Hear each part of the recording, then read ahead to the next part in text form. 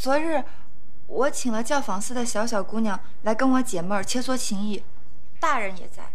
谁知大人一心只知道夸施姑娘的琴艺这儿好那儿好的，还让施姑娘教我弹琴。是，人家施姑娘琴技京城闻名。我让你看到自己的缺点，跟她学习学习，怎么了？错了？义儿，赶快给婉儿承认错误。母亲，我老实跟你说，让她跟施姑娘学习，已经便宜她了。住口！怎么可以在自己的女人面前夸别的女人好呢？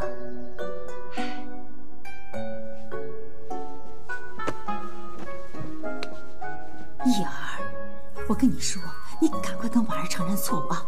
大事化小，小事化了，两个人呐，床头吵，床尾就和了啊！快去。那个姑娘，夫人，是我不对。什么那个施姑娘，连你半根脚趾头都不如。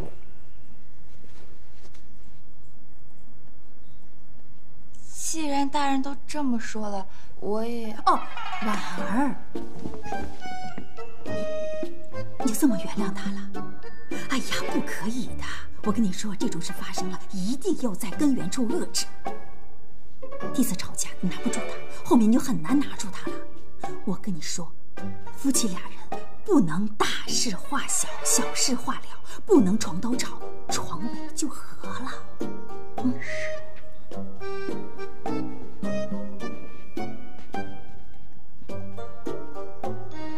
说的这些话，我这心里的火是一点儿都没消。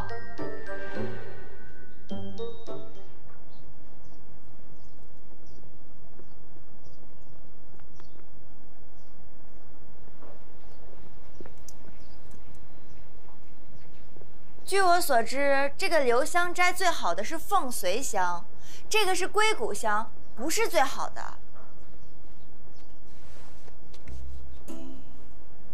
不过是演戏的道具，差不多就得了。那不行，做戏得做全套啊！大人，你这求人原谅没有诚意啊！看在我是初犯，姑娘就原谅我吧。我怎么没听说过这个劈柴处会念及初犯从轻处理呢？这个劈柴处不一向都是严正处理、以儆效尤的吗？家事怎么能跟公事混为一谈？呢，姑娘冰雪聪明，秀外慧中，通情达理，善解人意，自然能理解我。大人以前可不像现在这么会夸人。大人以前夸我的词儿呀，都是诡计多端、心机深沉、狐媚手段、不知廉耻。秋月，你怎么还放旧账？真是真假？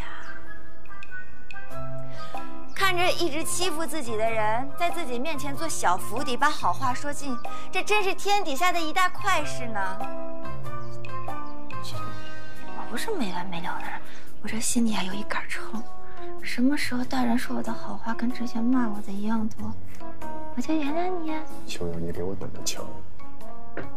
夫人好，婉儿给夫人请安。别给我来这一套。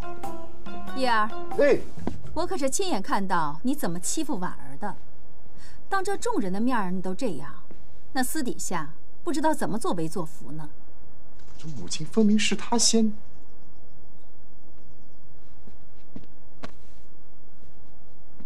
婉儿，千万不要被这些小恩小惠而弄得心软了。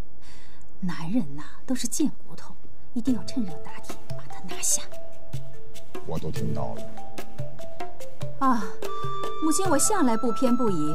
行了，你们夫妻俩的事儿由自己解决吧，我是顺道而路过。对了，叶儿，哎，不许再欺负婉儿了。是，母亲。哼，有你呢。你看，这不是我不原谅你，是夫人不让我轻饶你。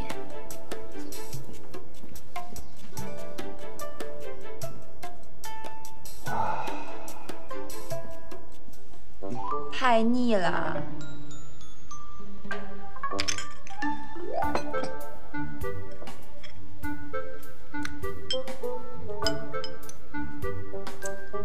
过于寒凉。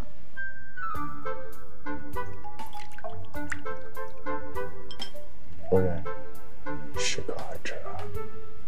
求我呀，求我我就原谅。不愿意？那你今天晚上就休想进我房里。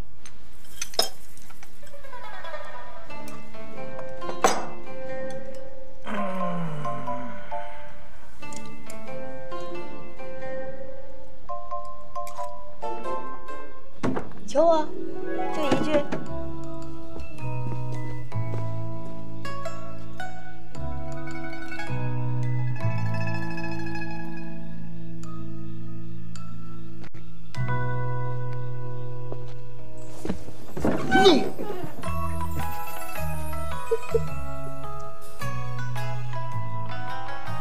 我求你。